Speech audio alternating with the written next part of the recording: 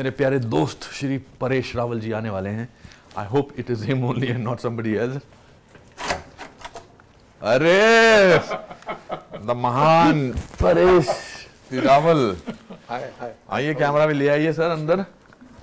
So wonderful thank you thank you for agreeing to do this because at a short notice but it's always a pleasure. How was your day? क्या किया आपने आज? आज function था साबरमती आश्रम के सौ साल अच्छा। श्रीमद राजचंद्र जी जो गांधी जी के आध्यात्मिक गुरु थे अच्छा उनके डेढ़ सौ साल थे वाह जन्म उस तो फ़ंक्शन में गए थे साहब भी आए हुए फ़ंक्शन था बहुत अच्छा फ़ंक्शन था अच्छा या but we've always talked about so many things about cinema about literature yeah. about life या to welcome you and to talk about straight away about which आप किस फ़ंक्शन से आए हो it's it's amazing या huh? I'm so happy कुछ पानी चाय ठंडा? नहीं कुछ नहीं कुछ नहीं। कुछ नहीं हाँ? गुजराती खाना खाएँगे ना अभी आपके साथ? खिलाओगे? हाँ, अरे आए गुजराती खाना इज़ माय फेवरेट फ़ूड मुझे अच्छा लगता है। और यहाँ तो अहमदाबाद में तो बहुत अच्छे। तो ऐसे एक से एक अच्छा। यू लॉस्ट वेट आल्सो या। क्योंकि तो खुशी ये भी होती है कि डॉक्टर कहे उससे पहले हमने कर दिया। मैं डॉक्टर के पास जाता हूँ मुझे बड़ा अजीब लगता है कि डॉक्टर साहब ये खांसी हो रही है। एज है हाँ, घुटने में दर्द हो रहा है एज अरे हट। अभी तीस साल तक मत बोलना एज या shall we go and let's Yeah. have a chat with you? Yeah sure चलिए but आ- आइए how do you find it from you are now in corridors of power में ना? आप Yeah. और उसके बाद ये होटल की कॉरिडोर में। या आपको याद आता होगा हमने पहले फ़िल्में की थी। या हैं? ट्रू इट्स गुड जर्नी ऐसा गुड जर्नी मीनिंगफुल जर्नी और ये जो पॉपुलैरिटी है अपनी हाँ। और जो लोगों का प्यार है उसको हम किसी तरह से पॉजिटिव एनर्जी में कन्वर्ट कर सके हाँ। देश के भले के लिए। हाँ। और that will be the I think positive outcome और एक लॉजिकल कंक्लूजन हो सकता है। हाँ। ये मुझे लगता है। अच्छा। मतलब मैं हमेशा सोचता हूँ कि अभी actors are making lot of difference in politics also या मतलब और फिर भी लोग बोलते हैं कि एक्टर्स जो हैं वो पॉलिटिशियंस नहीं बनते जबकि M G R Jayalalithaa. So many people ना। यार राज बब्बर जी भी रहे हैं। एन टी आर भी रहे हैं हाँ। वो लोग भी रहे हैं ना? यस या और जो जो परसेप्शन अभी चेंज हो रहा है। बिल्कुल मैं ये समझता हूँ कि क्योंकि मैं आपका फ़ैन हूँ तो आपकी आइडियोलॉजी को मैं फॉलो करूँगा ये ज़रूरी नहीं है। लेकिन अगर आप अच्छे हैं अच्छा काम करते हैं तो मैं अपनी आइडियोलॉजी आपके लिए चेंज कर सकता हूँ। मैं एंडोर्स कर सकता हूँ। अगर आप अच्छा काम कर रहे हैं तो। लेकिन अगर आपने फला फला फ़िल्में की इसलिए मैं मेरी आइडियोलॉजी छोड़ के आपको वोट दूँगा ये ये ऐसे नहीं होता है।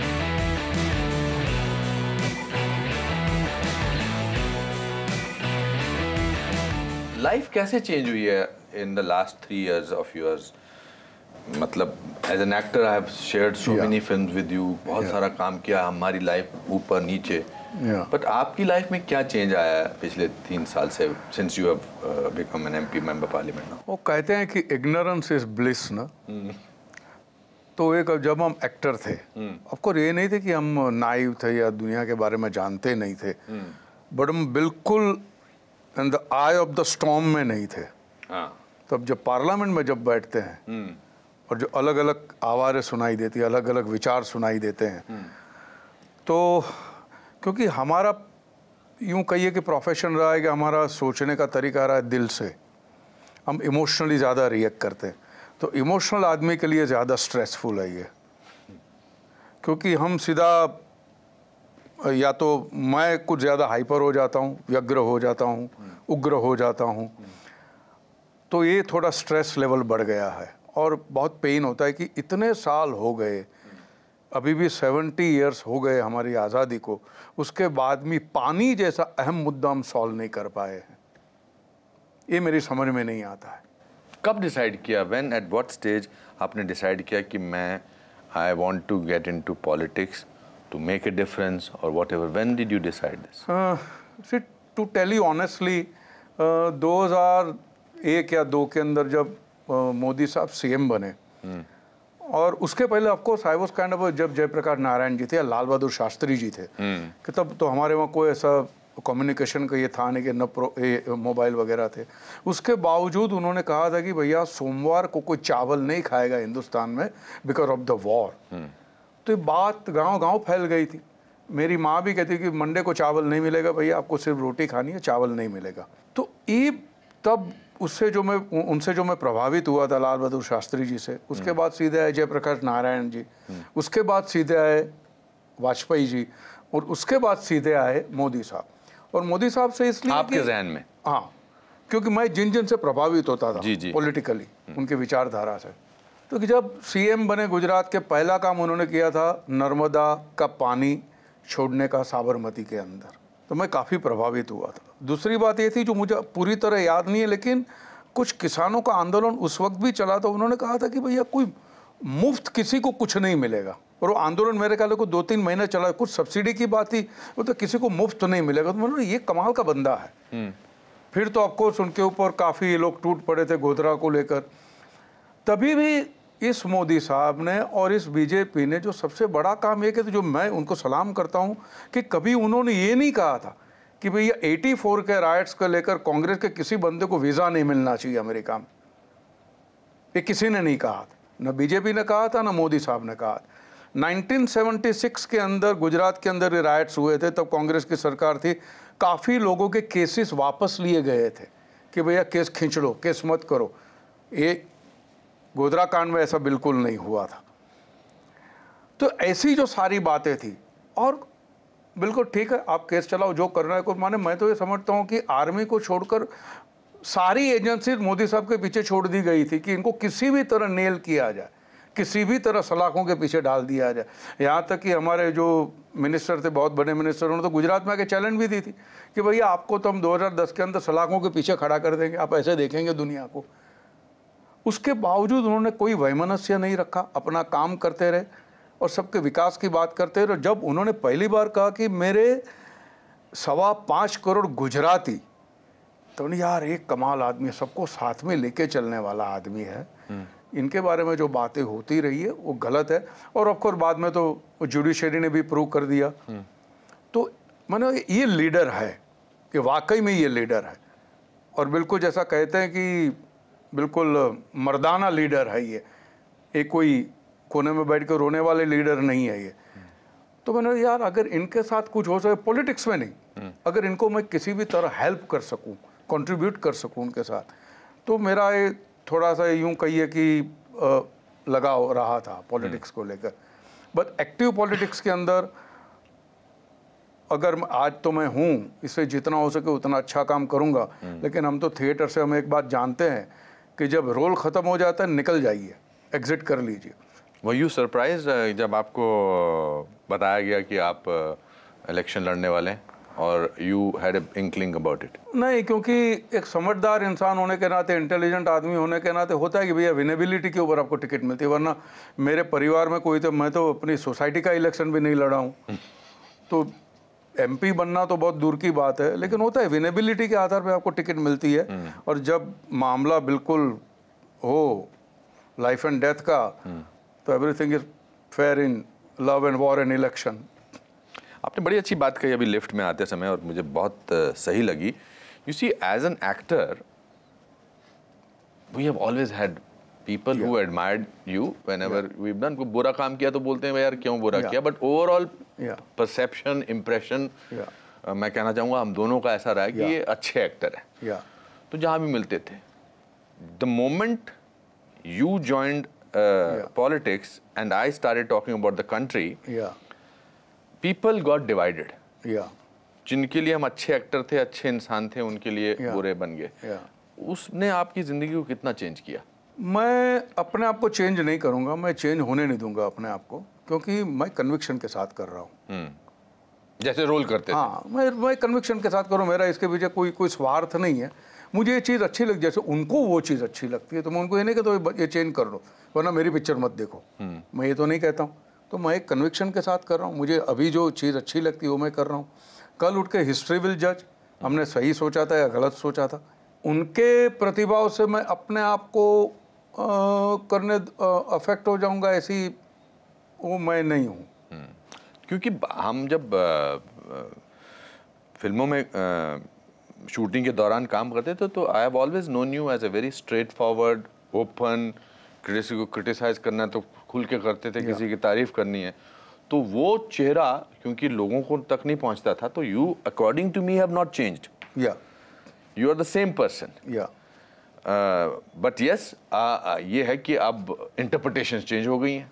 हाँ देखिए मैं समझता हूँ कि जो भी एक्टिंग करनी है कैमरा के सामने करनी है उसके बाद क्यों एक्टिंग करनी बहुत थकान महसूस होती है फिर। और घर पे जाओ और वही आप इतना दिन भर अगर झूठ बोल के आए हो उसके बाद भी तो वो थकान आपको थका देती है तो बेटर है कि आप हाँ लेकिन पॉलिटिक्स के अंदर थोड़ा संभालना पड़ता है। कहीं किसी को आपने कहा कुछ है इंटरव्यू कुछ हो और हुआ है और पहुँचा कुछ और ही है। तो थोड़ा संभालना पड़ता एज एन एक्टर कभी सफ़ाई देने की ज़रूरत महसूस नहीं हुई। मगर एज ए पॉलिटिशियन अपने आप को सफ़ाई देनी पड़ती है कि मैं इसको कैसे नपे तुले शब्दों में बोलूँ उससे कोफ्त होती है?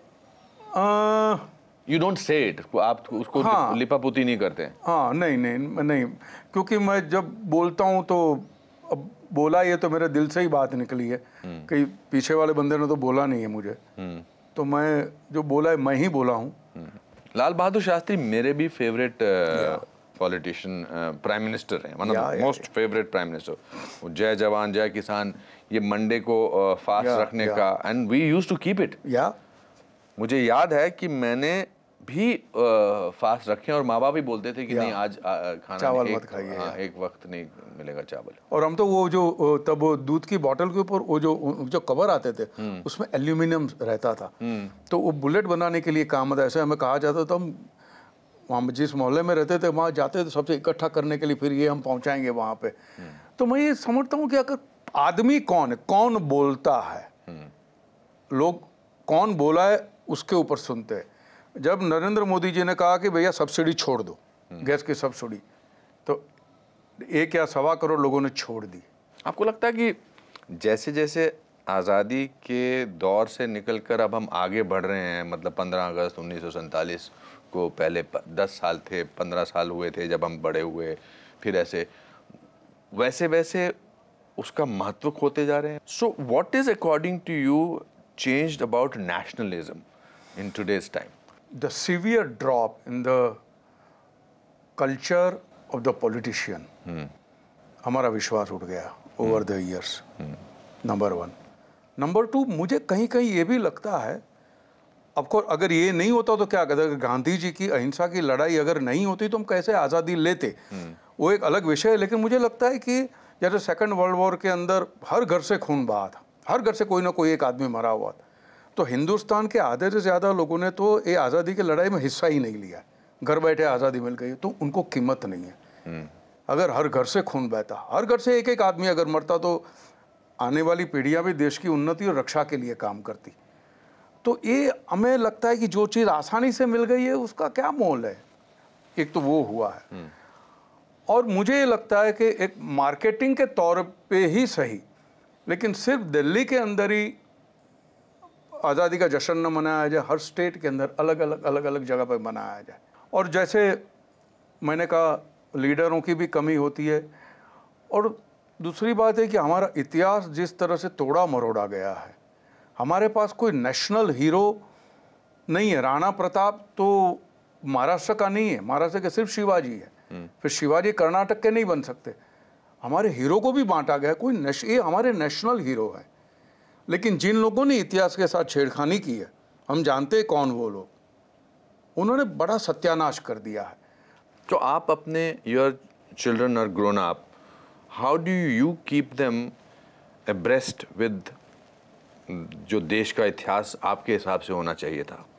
उनके अंदर क्या एक नेशनलिस्टिक फीलिंग उतनी है या डिफरेंट तरीके से है जितनी आपके अंदर है? So what do you tell your children about about the country and about things like that मैं ये काम करता हूँ कि मैं उनको उनको कुछ कहता नहीं उनको जो सोचना है उनको मैं अपनी तरफ़ से एक बना बना जजमेंट नहीं देता हूँ। लेट देम एक्सप्लोर बाद में जो नतीजे पे पहुँचते बाद में बैठ के क्या लगा? आपको ये लगा लेकिन ऐसा ऐसा है ये बात है अभी आप सोचिए। बट एज यू से दे आर फुल्ली अवेयर उनको पता है। और कमाल की बात यह है they are more human elaborate on this. माने अगर हम जैसे ये जो फॉर एग्जांपल ये गौ रक्षा के बात बात होती है या कहीं दूसरी बात होती है तो कहते हैं कि भैया सिर्फ़ मुसलमान ही इंसान नहीं है हिंदू भी इंसान है माने कोई भी मरता है ये दुख दर्द होता है सिर्फ़ जब मुसलमान मरता है तब हमको चिखना चिल्लाना है वो ज़रूरी है तो हिंदू मरता तब भी चिखिए चिल्लाइए। तब भी आप ये अवार्ड वापसी वगैरह जो भी जो भी कुछ करना है कीजिए। तो वही ह्यूमैनिटी के अंदाज से ह्यूमैनिटी के नज़र से देखते हैं सारी बात को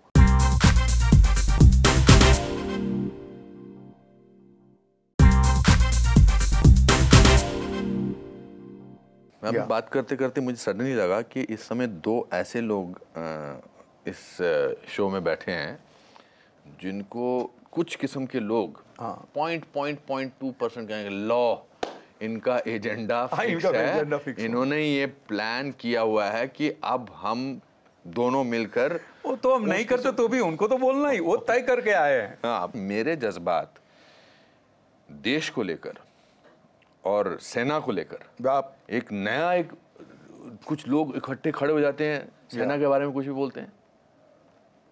तो आप आपके भी बहुत में बीच में आपने एक ट्वीट किया था। या किया था। हाँ? और अ, मैंने रीट्वीट किया था। या और आई थिंक आपके ट्विटर के करियर में उससे ज़्यादा रीट्वीट्स और लाइक्स नहीं हुए होंगे। बिल्कुल नहीं। नहीं हुए। ट्विटर अकाउंट तक उन्होंने बंद कर दिया था। आपका कर दिया था? कुछ देर के लिए? अच्छा। तीन दिन के लिए। बेस्ड ऑन वॉट किसी ने कंप्लेन की होगी कि भड़का रहा हिंसा मतलब हिंसा भड़काने वाली बात ही नहीं है। उनके जो हम निवाला हम पियाला हम सफ़र हमराज जो हैं उनको ही भेजने की बात कर रहा हूँ। बिल्कुल शांति का कबूतर ही छोड़ रहा हूँ। उनको देखेंगे जीप पे बैठे होते पत्थर नहीं मारेंगे। तो वो तो शांति के दूत हैं। हिंसा भड़काने वाली बात कहाँ हो गई?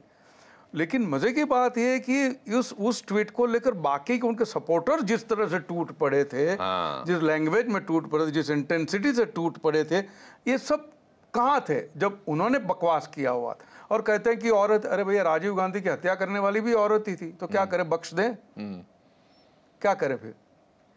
माने जब आपको बोलना है तब कुछ भी बकवास करो बाद में आप जेंडर पे आ जाओ कि मैं तो औरत हूँ। उन्होंने नहीं कहा था उनके जो बाकी के जो कभी कभी होता है ना कि चाय से ज़्यादा केटली गर्म होती है। आज से कुछ बार पंद्रह साल पहले मैं इधर था लंदन में था और लंदन में एक अखबार में इनका कोई तीन पेज का आर्टिकल था। और मैंने आउटलुक में लेटर टू एडिटर में लिखा था कि how dare she say something about our country like this कुछ परमाणु के लेकर था कुछ एटॉमिक पावर को लेकर था। So do you think why do you think in your mind they अपने ही देश के बारे में इतना जहर क्यों उगलते हैं? ऑनेस्टली मैं बड़ा कंफ्यूज रहता हूँ कि आप इसी मुल्क में रहते हैं। अगर आप किसी के पैरोल पे पेरोल पे है तो ठीक है। बराबर है वो थोड़ी वफादारी दिखानी पड़ती है। लेकिन कहीं पे तो आप समझदारी भी दिखाइए। या वफादारी भी दिखाइए। या और देश के प्रति तो वफादारी दिखाइए आप जहाँ पे रहते हैं उसके लिए तो वफादारी दिखाइए। एक टोली है जो गंध लेके घूम रही है। उसका कोई इलाज नहीं है। क्योंकि हम डेमोक्रेसी में रहते हैं। उसी का फ़ायदा उठाते हैं वो लोग। और मुझे ऐसा भी लगता है कि because there is somebody talking like this तो एक स्टेटमेंट के सामने कोई डेढ़ सौ करोड़ अपना 125 करोड़ लोग जो हैं वो Yeah. खड़े हो जाते हैं। So they have also helped in unifying India together Yeah. The youth of this country Yeah. Together I personally feel that या या या but do you think they should be ignored नहीं नहीं नहीं इग्नोर करते नहीं नहीं करते तो बात मतलब हाँ सॉरी इग्नोर करते करते बात यहाँ तक नहीं बिल्कुल अच्छे तरीके से जवाब तो देना ही चाहिए। जवाब देना चाहिए। नहीं तो ये लोग अभी तक जीतते आए हैं। आगे चल के हम जीतेंगे नहीं जीतेंगे वो बात दूर की बात है। लेकिन जवाब तो देना ही चाहिए। तो लड़ाई किस चीज़ की है? अगर आप जीत की बात करें तो लड़ाई किस चीज़ की है? भाई देशभक्ति की बात है देश हाँ। की बात है। देश को मैंने कहा था मैंने उनको टर्माइट क्लान कहा था। हाँ यस जो अपने ही घर में रहते घर को ही खाते रहते हैं। जी। ये वो लोग हैं। हाँ। और आप पाकिस्तान में पाकिस्तान की गोद में बैठ के हिंदुस्तान को कैसे प्यार करते हैं ये मेरी समझ में नहीं आता है। हम्म। जैसे मणिशंकर अय्यर जैसे वहाँ जाके बोलते अब मोदी जी को हटाइए अरे भैया पहले कुछ लोगों ने ओबामा जी को खत लिख दिया था कि मोदी जी को वीज़ा मत दीजिए ये बाहर जाते रहते हैं। ये किस किस्म के लोग हैं? वाकई समझ में नहीं आता है। और कभी कभी इतना मैं अभी मैं इतना हाइपर हो गया हूँ कि समटाइम्स क्या होता है कि बहुत बैलेंस रखना पड़ता है। वर्ड्स चूज़ करने के लिए वॉट यू से ना ओम शिव ओम शिव ओम ओम नमः शिवाय ओम नमः शिवाय हाँ मेरे दिमाग में अभी वही चल रहा है। क्यों ओम नमः शिवाय बोलना चाहते हो? बोल उसमें भी इंटरप्रिटेशन निकालेंगे। हाँ। देखिए, communal है, ओम नमः शिवाय को फैला रहे हाँ। हैं हाँ? कुछ नहीं I think the the point is ये हमको अभी इसी बात से और मज़े की बात यह है कि इनकी डिफीट पे डिफीट हो रही है। 2014 में हारे। बाद में बोला चलो अवार्ड वापसी का सर्कस निकाला था उन्होंने। कुछ ट्रेपिस आर्टिस्ट उतरे थे बीच में। तो कुछ सक्सेसफुल नहीं हुआ। भैया दादरी के अंदर अखलाक मियाँ का ये हादसा हुआ है तो अखिलेश के सामने नहीं जाते। आप जाते मोदी जी के सामने निशाना लगाते हैं। अभी अगर यूपी के अंदर कुछ होता है तो बोलता है ये योगी जी का यूपी है। हम्म, तब दादरी में हुआ तो बोलता है ये मोदी जी का इंडिया है। बड़ा सिलेक्टिव मामला है इन लोगों का। किसी भी तरह मोदी जी को बदनाम करो क्योंकि मोदी जी जीत गए अभी क्या करे? और Modi ji is kind of winning election after election लोगों के अंदर उनके पॉपुलैरिटी के परसेंटेज भी बढ़ रहे करे क्या इस मॉन ये तो बढ़ते ही जा रहे हैं। फिर डिमोनेटाइजेशन का आया। तो कुछ लोग उतरे थे मैदान में। उन्होंने ये भी नहीं समझा कि अगर वाकई अगर जनता झुंझलाई हुई है तो जनता रोड पे आ जाती है। तूफ़ान ये तो जनता ऑलरेडी रोड पे खड़ी और कुछ नहीं कर रही है। आप पहले अगर जनता का मुद्दा उठाते पॉलिटिकल पार्टी और बाद में उतरती है मैदान में पॉलिटिकल पार्टी अपना मुद्दा लेके उतरी जनता को बोले आओ हमारे साथ आओ जरा। क्योंकि उनके पैरों के नीचे पानी आ गया था। Correct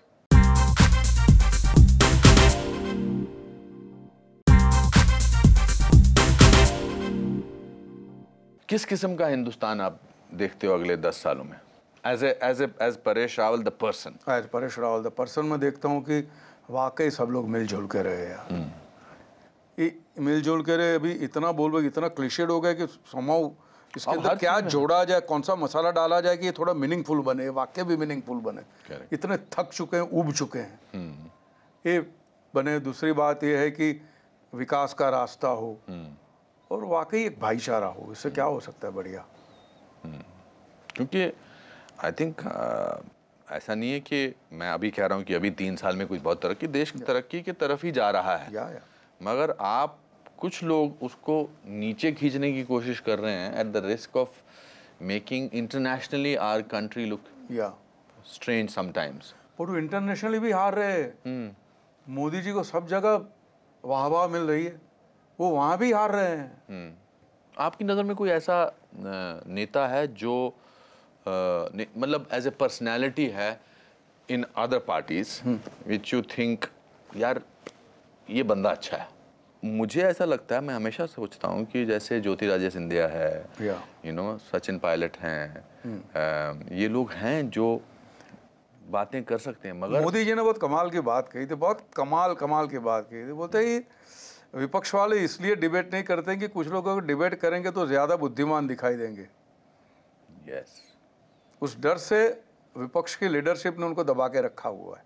hmm. कहीं इसने बोल दिया तो उसकी साड़ी मेरी साड़ी तो सफ़ेद कैसे? hmm. ये कहीं हिसाब ना हो जाए। या उसका कुर्ता। हाँ हाँ। इज़ ऑल्सो अब क्लीशे की death is in every form even in acting you are not not so many film films Do you miss acting? No not at all my theatre is there हाँ। आपका भी आप भी theatre करते रहते हैं। और not doing many film because अगर अच्छी क्योंकि क्या होता है कभी कभी एक, एक एक उम्र ये हो जाती है कि पैसे के अलावा कुछ और चीज़ें भी घर पे ले जाए। कुछ जर्नी अच्छी हो कुछ अच्छे लोगों के साथ काम करे कुछ विचारों का आदान प्रदान हो कुछ अच्छा मटेरियल हो पैसे तो चाहिए ही चाहिए। तो इस किस्म की स्क्रिप्ट लेकिन मैं ये समझता हूँ कि अब तो हिंदुस्तानी फ़िल्मों का गोल्डन पीरियड चल रहा है।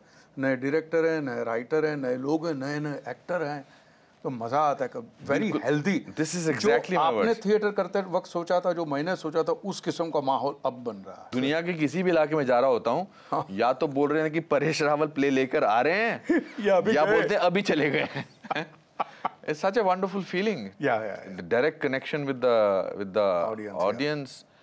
and अभी भी आप भाईदास पे जाते हो? भाईदास भाई भाईदास भाईदास ऑडिटोरियम है विले पाले में मुंबई में जहाँ परेश जी अड्डा लगा के बैठते थे बहुत सालों से। काशी मथुरा है वो। काशी मथुरा है। अभी भी जाना होता है? हाँ हाँ सुकून मिलता है बहुत सुकून मिलता है रियली सुकून मिलता है।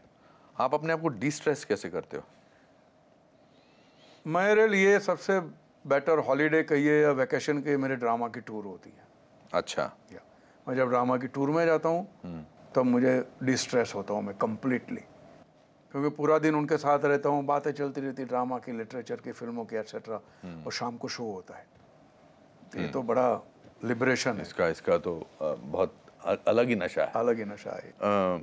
आजकल की जनरेशन के एक्टर्स के बारे में आपके क्या विचार हैं? मतलब और if you have to give an advice to I know that you don't believe in advice but if you have to tell body somebody to what is acting in what should they do to while acting?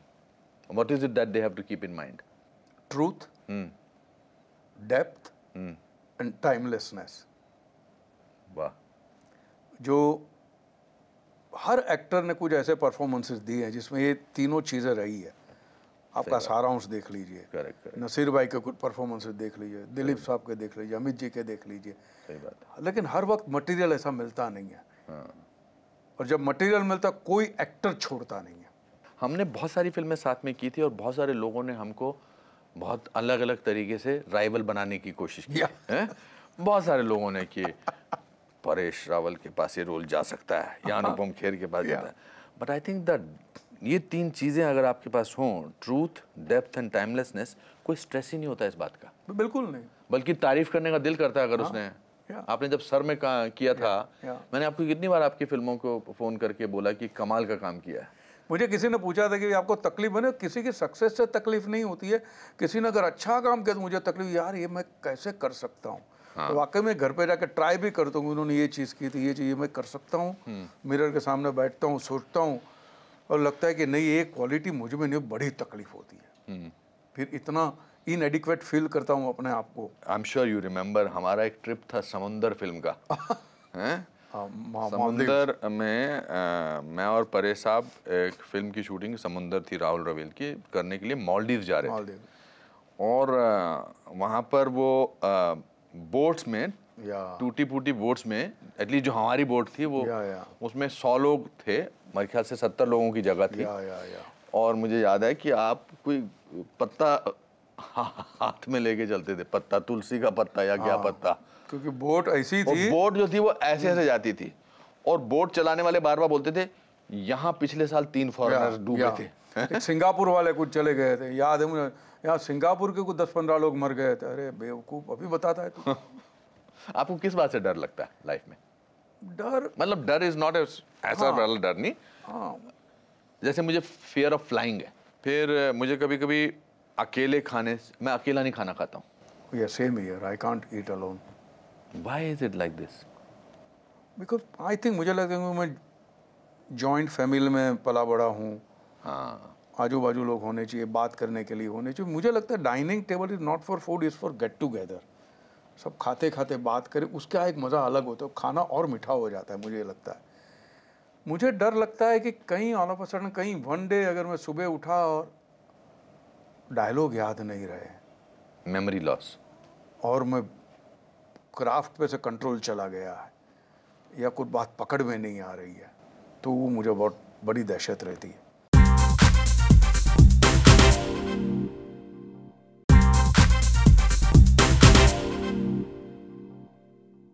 मुझे याद है अर्जुन की shooting में मुझे राहुल रवेल ने कहा था how strange in the one show we are talking about Rahul Rawail Yeah, twice twice, yeah. Samundar and Arjun कि एक बड़ा ज़बरदस्त फिरोज खान ने भी कहा था बड़ा ज़बरदस्त एक एक्टर आ रहा है वो इसमें रोल कर रहा है। And you walked in in that अपना राजकमल स्टूडियो में। राजकमल में हाँ। दारू के अड्डे पे वो बोला हाँ वो वाला वो वाला सीक्वेंस और आँखों में भूख थी वो भूख अभी भी है। What is the one humiliating feeling that you had during your struggling days. Because humiliation कभी कभी बहुत ताकतवर बनाती है। वेरी मोटिवेटिंग होता है वो। है ना? या एक बार मेरा सेक्रेटरी आप जानते हैं अभी अवधेश सिंह। हाँ। Good looking guy yes yes मैं सुरेंद्र मोहन जी के पास लेके गया मुझे। और कहा कि सर मोहन साहब ये परेश है ये वो। मुझे देखा। अब हम लोग कोई उतने कोई गुड लुकिंग तो है ही नहीं कोई कामदेव तो है ही नहीं। तो वो मेरे सामने ही कहते हैं अभी को तू क्यों नहीं करता रे? आपके सेक्रेटरी को। मेरे हाँ तू क्यों नहीं करता? इतना गुड लुकिंग है तू. मैंने बोला यार कमाल का मैं हंस पड़ा तो मैंने ये कमाल का ह्यूमिलिएशन है यार. सेक्रेटरी को बोलता भी गुड गुड लुकिंग मुझे मैं स्ट्रगलिंग एक्टर था तो बड़ी मुश्किल से सोहनलाल कंवर का मुझे टाइम मिला। हाँ और सोहनलाल कंवर तो मैं हम थिएटर की पिक्चर्स लेके थे हमारे पास वो मग शॉट तो होते या, नहीं या, थे जो रा- गौतम राजाध्यक्ष या, खींचे या श्रेष्ठा। हाँ राकेश श्रेष्ठा कि हम लगे वो ऐसे लेके जाते थे बारिश में मैं उनका वर्ली में ऑफ़िस में था। तो वो अपने रा- राइटर के हाथ बैठे थे। तो बड़ी देर तक बिठाया अच्छा ये तो बड़ी डिग्निफाइड गुड लुकिंग बॉल्डनेस है। हाँ। जब आप शुरू शुरू में बॉल्ड हो रहे होते हो तो आधे बाल यहाँ से गए होते हैं आधे यहाँ से गए होते हैं कुछ पीछे से गए तो मतलब कोई देख के समझ मतलब किसी को बोलना अत्याचार था कि मैं एक्टर बनना चाहता हूँ एट्टी थ्री में तो सोहनलाल कंवर जी ने मुझे फाइनली बुलाया और वो उस तरह बैठे थे अपना राइटर के साथ और मैं इस तरह बैठ गया। तो उन्होंने कहा फ़ोटो वोटो है? तो मैंने निकाला सफ़ेद शर्ट से उनको दिए। तो वो बार बार देख रहे हैं और कह रहे अच्छी अच्छी देखो अच्छी देखो है दूसरा फ़ोटो अच्छी देखो तो मैंने कहा आज तो मतलब यहाँ से मेन गया। रोल निकला ही निकला लेके गए यहाँ से। राम गोविंद। राम गोविंद हाँ। हाँ। सो फिर अय- अ, कितना डिफरेंट लग रहा है हैं? अ, जी। तो मैं अभी अंदर से सोच रहा हूँ कि मैं बाहर जाके अपने भाई को फ़ोन करूँगा कि फ़ाइल फ़िल्म साइन कर ली फाइनली हाँ। फिर मुझे बोलते हैं तुसी तो ठीक हो जी ये हर फ़ोटो में जो आपके पीछे खड़ा ये कौन है? बड़ा एक्सप्रेसिव फेस है। मैंने कहा जी ये लास्ट मंथ मर गया। ये मर गया। मैंने वो कहानी खत्म कर दी। आनंद देसाई था वो। ओ हो हो हो मेरा रूममेट मेरे साथ पचास प्लेस कर चुका था। तो मैंने कहा ये सिस्टम ही ना रखो कि कल को कहीं आनंद जैसा आ गया तो ये रोल उसको मिल जाएगा। पॉसिबिलिटी छोड़ो ही मत। Because those were the days of frightening struggling period ना। या आत्मकथाओं की बातें चल रही हैं। मैंने बहुत आपसे डायरेक्टली पूछता हूँ are you playing mister Narendra Modi in you are या tell me about it we are script को कहाँ लॉक करे वो समझ में नहीं आ रहा है। अच्छा। कहाँ से शुरू करे तो हमको समझ में आ रहा है। कहाँ लिखो कि अभी तो इनकी जर्नी शुरू हुई है। hmm. अभी तो इन्होंने दो कदम भी नहीं भरे हैं। कहाँ लेके जाए हम? किस नज़रिए से देखे? वर्ल्ड व्यू से देखे यहाँ के जो जो गंध वाली टोली है उनके नज़रिए से देखे कि वाकई जो देशभक्त है उनके नज़रिए से देखे? किसके नज़रिए से देखे? मुझसे मेरी स्माइल रोकी नहीं जा रही बिकॉज़ इस समय यहाँ दो कलाकार बैठे हैं। एक एक्स प्राइम मिनिस्टर को पोर्ट्रे कर रहा है एक फ़िल्म में और एक प्रेजेंट प्राइम मिनिस्टर को पोर्ट्रे कर रहा है फ़िल्म में। This is this is an amazing coincidence so how do you whatever the script भी भी जैसा भी लॉक होगा Yeah. आई एम श्योर अच्छा स्क्रिप्ट ही बनाएँगे. Yeah. इवन इनकी पूरी कोशिश है कि अच्छा स्क्रिप्ट ही बने एक्सीडेंटल प्राइम मिनिस्टर का. What is what will be your preparation? What will be the most important factor uh, that you will want to concentrate on as an actor? बाकी तो स्क्रिप्ट होगा ग्राफ है. It's an amazing graph from a chai wala the Yeah, chief yeah, minister yeah, yeah. The prime minister to Incredible drama. World leader incredible drama है ये। है ना? It's it's a great Yeah. Story Yeah. But आपकी तैयारी उनका क्या essence आप लेना चाहते हो कि यार ये निकल के आ जाए ना तो मैं I will be little relax बाकी तो भाव anguish in his eyes. The in his eyes. What in his eyes yeah anguish. Anguish yeah. अच्छा। अरे जो करना है यार मुझे लेके जाना है। मुझे किसी भी तरह करना है। हिंदुस्तान को पहुंचाना है मुझे। ये जो बात है ना वो कमाल की है। और मैं एक बात कहता हूँ क्योंकि भले ही लोग कहें लेकिन मैं जब जब उनको मिला हूँ मैं कुछ पॉजिटिव एनर्जी लेके निकला हूँ। पॉलिटिक्स में आज है कल नहीं रहेंगे। सवाल वो नहीं है लेकिन होता है ना कि भैया क्यों धीरे धीरे बाकी के लोगों को मैं मिलता था ऐसा लगता था मैं डीलर लोग को मिल रहा हूँ। इनको मतलब लगता है मैं लीडर को मिल रहा हूँ। हमेशा पॉजिटिव एनर्जी लेके निकला हूँ। तो आपने मुझे अच्छा किस्सा बताया था इंटरव्यू शुरू होने से पहले कि एक दिन आपको कॉरिडोर में मिल गए थे उधर या, या। और आपने क्या वो पूछा? जर्मनी अमेरिका से आए हुए थे कुछ सुबह साढ़े आठ नौ बजे लैंड हुए होंगे और दस साढ़े दस बजे मिल गए कॉरिडोर में। तो क्योंकि हम लोग अमेरिका जाते हैं ड्रामा की टूर के लिए पाँच दिन तो पड़े रहते हैं स्टमक अपसेट है सर दुख रहा है ये आई स्वामी ने सरप्राइज़ मैंने सर जेटलैग जैसा कुछ नहीं सोचने का नहीं ना। वाह। I was swept this is truly a mind over matter सोचने का नहीं ना। सोचने का नहीं। आज भी जब वो मैं एयरपोर्ट पे उनको रिसीव कर रहा था मैं देख रहा था क्लोजली कि क्या है। अच्छा मैंने कभी उनको आज तक यौन करते हुए नहीं देखा है। करते हुए कभी नहीं देखा। Never that's a great observation that's so true कभी नहीं देखा। और दूसरी बात कमाल की ये भी है जिस पोजीशन में बैठेंगे ना ज़्यादातर लास्ट में उसी पर ये नहीं कि ये हुए ये हुए कभी नहीं उसी पोजीशन में बैठे। बाकी का इंटरव्यू मैं ऐसे ही लेने वाला हूँ अब। ये कमाल की बात है यार। या और इतने बड़े स्ट्रेस को संभालना। क्योंकि मैं स्ट्रेसफुल आदमी हूँ। सब में स्ट्रेस होता है लेकिन संभालना और देश का काम करना। आप सोचिए कमाल की बात दूसरी है अभी ये हम तो भक्त है तो भक्ति रस के बारे में ही बात करेंगे। जब उनको एसआईटी के लिए बुलाया गया तब सुबह साढ़े नौ दस बजे गए होंगे। आठ नौ घंटा चला उनका। अब ये वो इंटरोगेशन था ये इन्वेस्ट ये वो इन्वेस्टिगेशन था अगर आपने कहीं पे कुछ उल्टा सुल्टा बोल दिया उसको इंटरप्रिट करके सीधी हथकड़ी डाल के आपको डाल दिया जाएगा। वहाँ गए हैं ये। आठ नौ घंटा चला है आपका इंटरोगेशन उसके बाद में उन्होंने कहा कि उन्होंने कहा कि भैया आप कल करेंगे बोलते यार ये अभी कल वाली बात मत रखो आप फ्रेश होके आ जाओ। रात को साढ़े नौ बजे खाना करके हम शुरू करते हैं। क्योंकि मैं हर दिन आपके साथ बैठा हूँ मेरे स्टेट का काम बिगड़ता है। मेरा काम है एज ए सी आप कर दीजिए अपने जो भी सवाल पूछने पूछ लेकिन ये कर लीजिए आप जरा आज ही ख़त्म कर देते और दो तीन घंटे के बाद सब लोग फ्रेशन अप होकर बैठे और पूरा एसआईटी का उन्होंने जो इंटरव्यू पूरा पूरा किया एक ही दिन में पूरा किया। So any other political leader और अरे आपको नेशनल हेराल्ड के लिए बुलाया गया था पूरा जुलूस लेके जाते हो यार।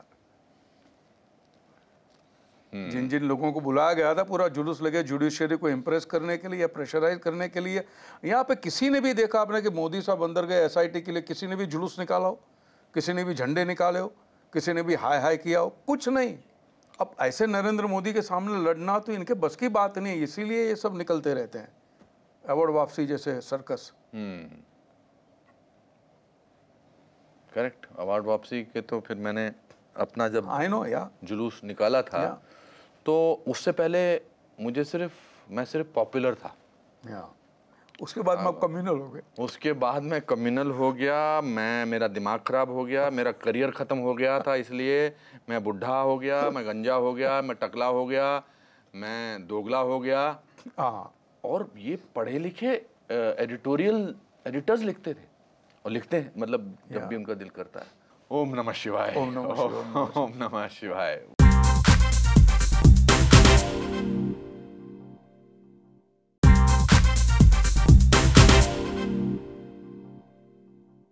What are your thoughts on the amazing army of uh, or, or services of of India? मतलब आजकल हर कोई आदमी उठकर जो है Yeah. वो आर्मी के बारे में कुछ बोल के पंद्रह लोगों के से कुछ लिखवा लेता है चार लोग डंडे Yeah, लेके खड़े हो जाते हैं। मतलब there are two things which comes to my mind पहली बात तो यह है कि मेरे माँ बाप को भी मुझसे कोई उम्मीद थी कि परेश बड़ा होगा पैसा कमाएगा हमें सपोर्ट करेगा हर माँ बाप को होती है जायज़ है। तो स्वार्थ नहीं कहते लेकिन उम्मीद ही पकड़ के रखते हैं। स्ट्रांग उम्मीद थी कि बुढ़ापे का सहारा एट्सेट्रा आपके लिए वो बंदा गोली खा रहा है वहाँ पे जो ना आपसे कभी मिलने वाला है ना आपके घर पे चाय पीने वाला है ना आपसे कोई उम्मीद है उसको। वो आपके लिए जान दे रहा है वहाँ पे। ये सिर्फ़ उसका काम नहीं है। ये जॉब नहीं है। म्यूनसिपाल्टी वाले को भी फ़ोन करो या कचरा पड़ा उठाते नहीं है वो। जो उसका काम है तो ये तो गोली खा रहा है। तो उसके लिए अनाप शनाप बकना माने बेजलेस अगर कुछ है तो आर्मी का अपना रूल है अपना कानून है वो उसको हैंडल करेंगे। और बस आए दिन ये लोग उसी वहाँ जाके भोंकते हैं जहाँ से कोई जवाब नहीं मिलने वाला। That is number one number two what is dangerous what I feel is dangerous मैं डेंजरस शब्द बड़ा सोच समझ के इस्तेमाल करता हूँ। 1947 14 अगस्त तक 12 बजे तक रात को, ये आर्मी एक ही थी। एक ही फैब्रिक से, एक ही मटेरियल से बनी हुई आर्मी थी आधे लोग या कुछ लोग पाकिस्तान चले गए, कुछ यहाँ रह गए। जो लोग वहाँ गए आर्मी बन के, उन्होंने क्या हशर किया है, देख लीजिए आप। तो ये सीधे लोग हैं डिसिप्लिन लोग हैं एथिकल लोग हैं मोरालिटी वाले लोग हैं उनको क्यों आप उकसा रहे हो? क्यों खाम खां उकसा रहे हो? आज भी जब बंगाल के अंदर ज़रूरत पड़ गई तो आप आर्मी को ही बुलाते हो। हर चीज़ आर्मी से चाहे आप कचरा भी साफ़ करवा लो पुलिस वाले का भी काम करवा लो और उनको अनाप शनाप बकते भी रहो। माने आर्मी का नसीब देखिए आप दुश्मनों से गोली खाओ देशवासियों से गाली खाओ। तो कहाँ जाएगा ये आदमी? तो ऐसे लोगों को उकसाओ मत जो चले जा रहे उनको आप थप्पड़ मार रहे हो उसके हाथ में बंदूक है फिर भी नहीं है वो। सही बात ये उनकी अपब्रिंगिंग है। ये उनका मोराल है ये उनका फाइबर है। ये गलत है बहुत ही गलत है खून खोलता है तब तो। अच्छा आप मोदी जी के सामने बोलिए कोई प्रॉब्लम नहीं है मोदी जी भी कूद नहीं करते हैं आपको। बीजेपी के सामने जो बकना है बकिए सब सुनेंगे हाँ कुन पते की बात होगी तो हम अपना भी लेंगे। लेकिन आर्मी के सामने क्या बकना आपको? और देश को तोड़ने की बात करनी? और तब ये सब बंटी बबली खड़े हो जाते हैं उनके बगल में। ये कमाल है यार ये समझ में नहीं आता है। जिस पेड़ पे खड़े बैठे हैं उसी को काट रहे हैं। Again, Om Namah Shivaya. Om Namah Shivaya. Om Namah Shivaya. Do you plan to write your autobiography or uh, do something about that? No I be very blunt in that and I be hurting many people because autobiography का मतलब ही ये होता है कि आप honest रहो Hmm. जो नसीर भाई ने किया है Hmm. और नसीर भाई से मैंने पूछा पार्ट टू कब आ रहा है अरे बोलता है यार अभी वो करूँगा मैं लेकिन वो होता है कि वाई हर्ट पीपल यार You are very close to, uh, मतलब you admire Nasir also. Yeah. What is the quality that you like about Nasir?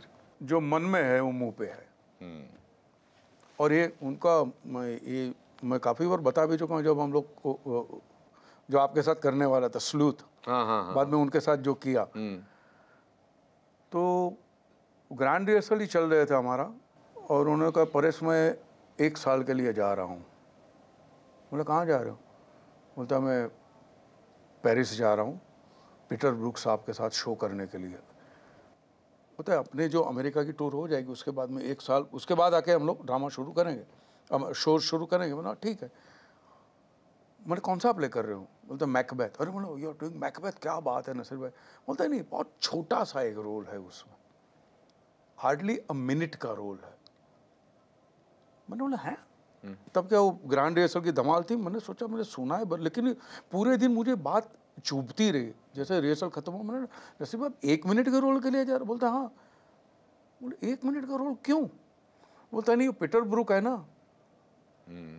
इतने बड़े शंकराचार्य है थिएटर के, उनके साथ बैठूँगा मैं, एक साल शो पे शो करता रहूँगा, मैं सीखता रहूँगा, संवाद करता रहूँगा, और जिस प्रिंसिपल में मैं एक्टिंग में आज मानता हूँ, अभी अभी भी एप्लीकेबल है या नहीं है रेलेवेंट है कि नहीं है, उसके बारे में बातें होती रहेगी।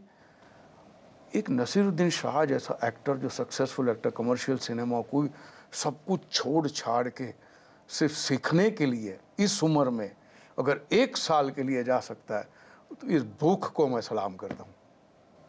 ये कमाल है। ये नसीरुद्दीन शाह है। करेक्ट पीटर ब्रुक ने महाभारत का. कितना कम अमेजिंग परफॉर्म स्टेज परफॉर्म किया था। लेकिन नसीर भाई जिस विचार को लेके गए थे वो वो हुआ नहीं उनको नहीं, नहीं मौका ही नहीं मिला। हाँ। माने वो रहे एक साल रहे लेकिन बोलते साल रहे बहुत हाँ रहे एक साल रहे। मैं बीच बीच में फ़ोन भी करता था मैंने मैं आने वाला हूँ लंदन तो आ जाऊँ क्या? हाँ। बोलते यार मैं बहुत डिप्रेस हो गया हूँ क्योंकि जो मैं सोच समझ के गया था वो तो आते ही नहीं थे शो में।